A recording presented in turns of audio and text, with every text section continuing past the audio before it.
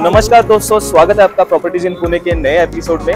मेरा नाम है आकाश और आज हम आए हैं हिंजेवाड़ी फ़ेज़ वन में। अभी जहाँ पे मैं खड़ा हूँ, ये शिवाजी सर्कल के 200 मीटर पे ही मैं खड़ा हूँ।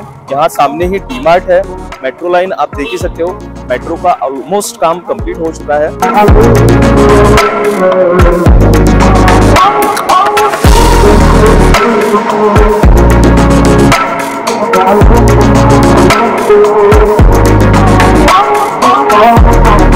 अभी आपने जो वीडियो देखा, वो इसी रोड का वीडियो था।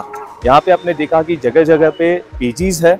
यहाँ हिंजेवाड़ी का ये पीजी हब भी माना जाता है। यहाँ पे काफ़ी सारे पीजीज के लगभग 100 से 150 अपार्टमेंट्स यहाँ पे। तो दोस्तों, इसी लेन में मैं आपके लिए आज एक इन्वेस्टमेंट का ऑप्शन लेके आया हूँ। इसी पीजी हब के सेंटर में आपके लिए मैं आज एक अपार्टमेंट लेके आया हूँ, जहाँ पे स्टूडियोज के ऑप्शन आपको मैं दिखाऊँगा। जी हाँ दोस्तों जो मेट्रो लाइन है, यहाँ से सिर्फ़ 200 मीटर के डिस्टेंस पे आपके लिए एक इन्वेस्टमेंट ऑप्शन में आज लेके आया। चलिए, वहाँ चल के देखते हैं इस प्रोजेक्ट का लोकेशन यहाँ से जो बिल्डिंग आपको दिख रही है, यहीं पे ये प्रोजेक्ट लोकेटेड है। चलिए।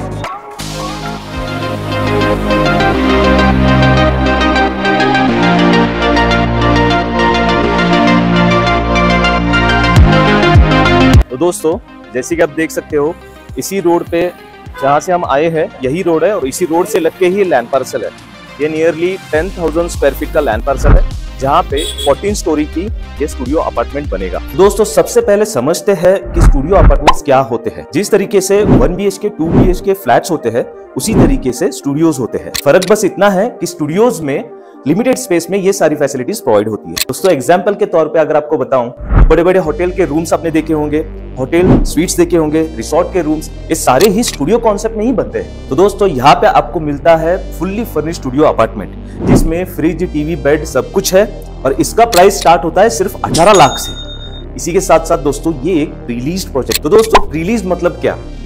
मान लीजिए आपके पास एक शॉप है, या फिर फ्लैट है, उसको आपको रेंट पे देना है। तो जिस किसी को भी आपका फ्लैट या फिर शॉप आप रेंट पे देते हैं उनके साथ एक रेंट एग्रीमेंट करते हैं, जिसको लीज एग्रीमेंट भी बोलते हैं। तो यहाँ पे भी सेम कॉन्सेप्ट है, बस फ़र्क कितना है कि यहाँ पे आपको फ़िक्र करने की ज़रूरत नहीं है, ना ही आपको टेनेंट ढूँढने की ज़रूरत है। रिलीज़ का मतलब ही यही है दोस्तों कि या तो ये रेंट पे ऑलरेडी दिया हुआ है, या फिर ऑलरेडी रेंट के लिए डिस्कशन हो चुका है। नहीं नहीं, ये प्रोजेक्ट काफ़ी प्राइम लोकेशन पे लोकेटेड है, हिंजेवाड़ी फ़ेज़ वन में लोकेटेड है तो इसका जो प्रॉपर्टी एप्रिसिएशन है, ये भी काफ़ी अच्छा होगा दोस्तों। दोस्तों, तीन सवाल। इस टाइप के प्रोजेक्ट्स में इन्वेस्टमेंट करना चाहिए कहाँ करना चाहिए और क्यों करना चाहिए? पहली चीज़ रियल इस्टेट में इन्वेस्टमेंट मतलब काफ़ी ज़्यादा पैसा लग जाता है। दूसरी चीज़ दोस्तों, इन प्रोजेक्ट्स में इन्वेस्टमेंट करने से पहले इनका लोकेशन देखना बहुत ज़रूरी है। अब ऐसे टाइप के प्रोजेक्ट जो है स्टूडियो अपार्टमेंट्स के, ज़्यादा करके कहाँ रहते हैं? आपने देखा होगा जहाँ पे आईटी हब्स है, जहाँ पे इंडस्ट्रियल हब्स है, जहाँ पे एजुकेशनल हब है। इन्हीं टाइप के लोकेशन में ये प्रोजेक्ट ज़्यादा करके आते हैं और सक्सेसफुल होते हैं। तो दोस्तों, अगर आप ये 18 लाख का यूनिट खरीदते हैं तो इसका जो रेंट है, वो आपको nine thousand two hundred rupees per month मिलेगा।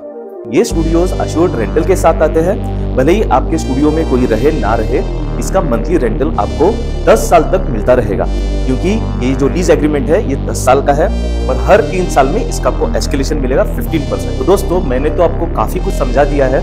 अब आप खुद आइए, इस प्रोजेक्ट का लोकेशन समझिए प्रोजेक्ट को समझिए और इस प्रोजेक्ट के बारे में कुछ भी आपको डिस्कशन करना है तो आप नीचे दिए गए नंबर पर मुझे कॉल करिए।